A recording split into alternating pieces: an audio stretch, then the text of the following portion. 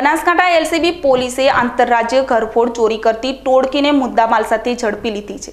બાતમીના આધારે એલસીબી પોલીસની ટીમે પાલનપુર ધણિયાણા ચોકડી પાસે આંતરરાજ્ય ઘરફોડ ચોરીની રાજસ્થાનના સાત આરોપીને ઝડપી લીધા બાદ પૂછપરછ કરતા આ આરોપીઓ અગિયાર ચોરી કરી હોવાની કબૂલાત કરી હતી. રાજસ્થાનના સાત આરોપીઓ પાસે ચાર બુટલેકર ફોર વ્હીલર પિસ્તોલ સહિત છ લાખથી વધુ રકમો પોલીસે મુદ્દામાલ જપ્ત કર્યો છે. રાજસ્થાનના આ સાત આરોપીઓએ પાલનપુર, અંકલેશ્વર, નવસારી, ભરૂચમાં ચોરી કરી હોવાની કબૂલાત કરી છે. બનાસકાંઠા જિલ્લામાં જુદી જુદી ચોરીઓ થાય છે.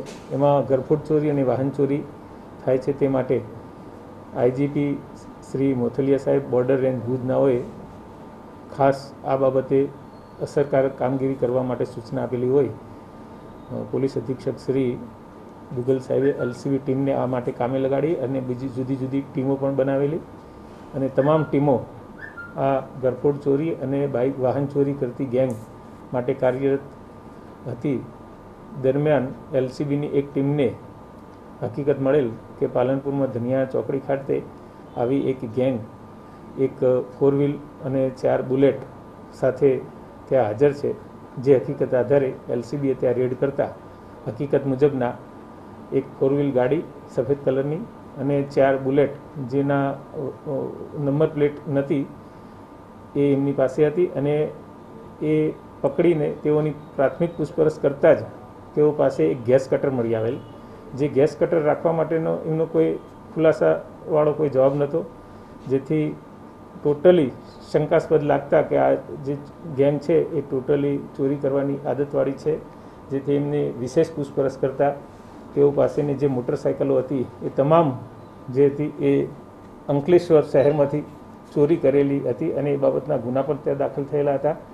અને તેઓની ગાડીમાં ચેક કરતા પરચુરણ સરસામાન મળી આવેલો, જેમાં સૂકો મેવો, જેમાં બદામ, પિસ્તા, કાજુ, આ બધું પણ મળી આવેલું. જે પણ એ ત્યાં અંકલેશ્વરમાં, શહેરમાં એક દુકાનની ચોરી કરેલી, એનો મુદ્દામાલ હતો. અને અહીંયા પાલનપુર શહેરમાં પૂર્વ પોસ્ટે પણ એક માસ પહેલાં જે ચોરી થઈ હતી, તે પણ તેઓએ કબૂલાત કરેલી, જેથી અહીંયા પાલનપુર શહેરના પૂર્વ પોસ્ટેના ગુનામાં તેઓને અટક કરીને તમામ મુદ્દામાલ તેઓ પાસેથી રિકવર કરેલ અને પૂર્વ પોસ્ટેના ગુનામાં તેઓને અટક કરી કાયદેસરના રિમાન્ડ મેળવવાની તજવીજ હાથ ધરેલ છે અને આ લોકોએની પૂછ, પ્રાથમિક પૂછપરછમાં જ તેઓએ અગિયાર ચોરી કબૂલી છે, જેમાંથી છ બાબતે ગુના દાખલ થયેલા છે અને આ ટોળકી જે છે એ જુદા જુદા વિસ્તારમાં ફરી આવી વાહન ચોરી તથા ગરફોડ ચોરી કરવાની ટેવ ધરાવે છે અને ઘણી બધી ચોરીઓ કરેલી હશે તેવું એક હાલના સંજોગોમાં દેખાય છે, જેથી તેઓના રિમાન્ડ મેળવી અને આગળની વધુ પૂછપરછ કરી વધુ ડિટેક્ટ કરવાની તજવીજ હાથ ધરેલ છે.